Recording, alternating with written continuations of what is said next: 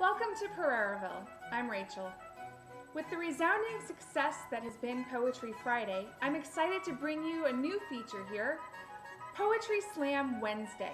I hope to make this a regular Wednesday feature for you. Today we'll start off with a wonderful poem by Grace Slick. It's entitled White Rabbit. One pill makes you larger, and one pill makes you small. And the ones that mother gives you don't do anything at all. Go ask Alice when she's 10 feet tall. And if you go chasing rabbits and you know you're going to fall, tell them a hookah smoking caterpillar has given you the call. Call Alice when she was just small.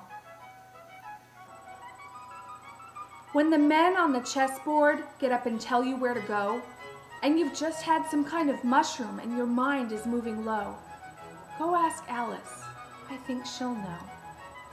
When logic and proportion have fallen sloppy dead, and the white knight is talking backwards, and the red queen's off with her head, remember what the dormouse said feed your head. Feed your head. Feed your head. Hope you've enjoyed this week's edition of Poetry Slam. If you have any suggestions on poems you'd like me to read to you, please leave them in the comments or email me, rachel at pereiraville.com. Thanks so much. See you next week.